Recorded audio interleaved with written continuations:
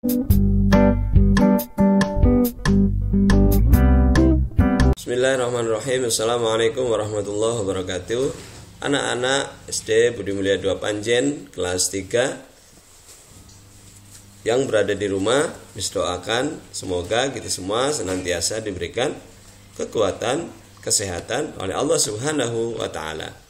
Anak-anak hari ini Misra akan menyampaikan pembahasan Pelajaran agama Islam Untuk kegiatan PAS penilaian akhir semester. Yuk, langsung saja kita simak. Nomor satu, kita sebagai makhluk ciptaan Allah harus memiliki sikap tanggung jawab kepada Allah. Salah satu contoh sikap tanggung jawab kepada Allah adalah yang mana? Ayo, mensyukuri nikmat yang diberikan Allah Subhanahu wa taala. Oke. Sekarang nomor dua, Nabi Muhammad adalah Nabi terakhir yang menjadi utusan Allah.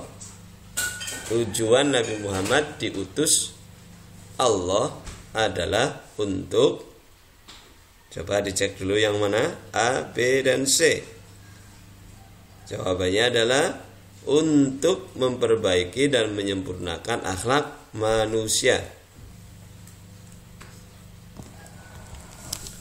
Nomor tiga, Aga anak yang pintar. Saat ulangan selalu mendapat nilai terbaik.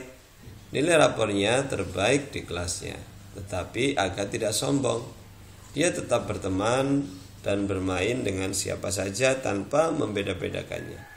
Aga selalu bicara dengan sopan dan tidak pernah merendahkan temannya dengan hinaan dan ejekan. Itu menunjukkan bahwa Aga memiliki sifat tanggung jawab, tawadu, percaya diri. Yang manakah itu? Ya, jawabannya adalah tawadu, rendah hati.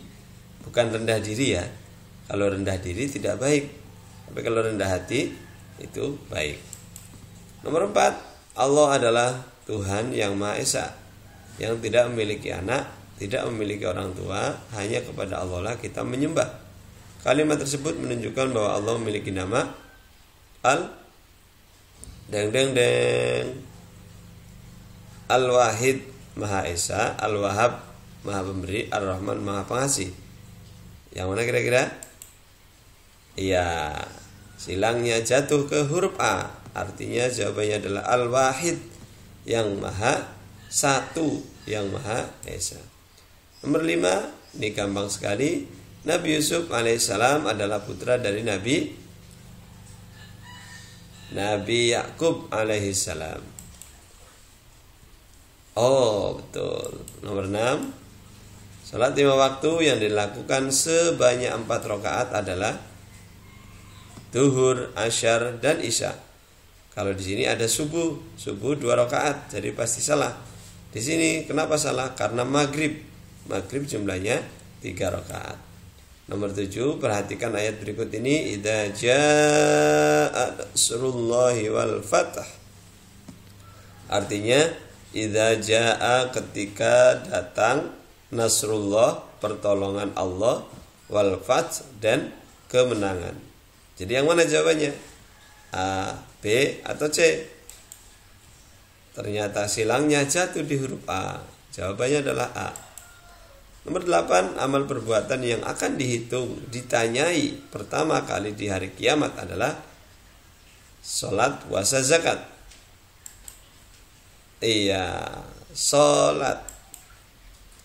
Nomor 9, subhanakallahumma rabbana bihamdika Allahumma firli adalah bacaan saat melakukan gerakan apa? Ini insya Allah anak-anak udah pasti bisa ya. Gerakan ruku. Sepuluh, sholat adalah bacaan dan gerakan yang dimulai dengan takbiratul ikhram dan diakhiri dengan apa? Dengan mudah sekali dengan salam. Satu sampai sepuluh nilainya satu. Sekarang kita lanjutkan untuk halaman atau untuk soal urayan. Soal soal isai. kita sebagai seorang muslim wajib melaksanakan sholat lima waktu dalam sehari semalam. Sebutkan nama-nama sholat lima waktu beserta jumlah rokaatnya. Ya, subuh dua rokaat, duhur empat rokaat, asar empat rokaat, maghrib empat rokaat, isya empat rokaat. Ini salah. Maghrib harusnya tiga rokaat ya. Maghrib tiga rokaat ya. Mister yang salah nulis ya. Mister bagaimana kalau menjawabnya tidak urut dari sholat subuh dulu? Nggak apa-apa. Yang penting nama sholat dan jumlah rokaatnya betul. Nomor dua perhatikan gerakan-gerakan sholat berikut ini kemudian anak-anak urutkan. Yang ada di sini belum urut. Dan jawabannya urutan gerakan sholat adalah takbiratul ihram dulu. Allahu Akbar. Kemudian baca doa iftitah baca al-fatihah membaca surat pendek kemudian ruku. Setelah ruku kita tegak lagi. Sami Allahu liman hamidah sambil mengucapkan iktidal Rabbana walakal hamd selanjutnya setelah itu kita bersujud setelah sujud kita duduk duduk di antara dua sujud. Setelah itu kita sujud lagi, kemudian bangkit lagi. Kalau kita sudah di rakaat kedua, kita duduk tasyahud. Ini contoh salat subuh di rakaat kedua ya, duduk tasyahud akhir. Ya, kemudian salam. Nah, ini anak-anak nomor dua urutannya. Insya Allah kalian sudah hafal ya. Dulu pernah mengerjakan soal mengurutkan gerakan sholat. Nomor tiga sebutkan 6 asma'ul husna. Anak-anak tinggal menuliskan 6 asma'ul husna dari 99 asma'ul husna yang ada. Menulisnya tidak harus urut ya Tidak harus berurutan. Bebas saja yang penting Kalian menulis 6 asma'ul husna Ini bisa contohkan jadi jawabannya tidak hanya ini, bisa Asmaul Husna yang lain. Yang penting Asmaul Husna. Kemudian nomor 4, perhatikan ayat berikut ini. Salinlah ayat di atas dengan benar dan rapi. Kalian tinggal menulis ulang Arab yang ada di sini, ya. Kemudian nomor 5, sebutkan tiga contoh perbuatan yang menunjukkan sikap tanggung jawab pada diri sendiri. Ya, jawaban setiap anak bisa jadi beda-beda. Jadi tidak ada jawaban yang pasti. Mister nanti bisa mengkoreksi langsung dari jawaban anak-anak. Tapi sebagai contoh saja, sebagai bentuk tanggung jawab pribadi adalah bangun pagi, menyimpan alat tulis untuk sekolah, menyiapkan alat tulis untuk sekolah, mengerjakan PR tanpa diingatkan, dan banyak yang lainnya.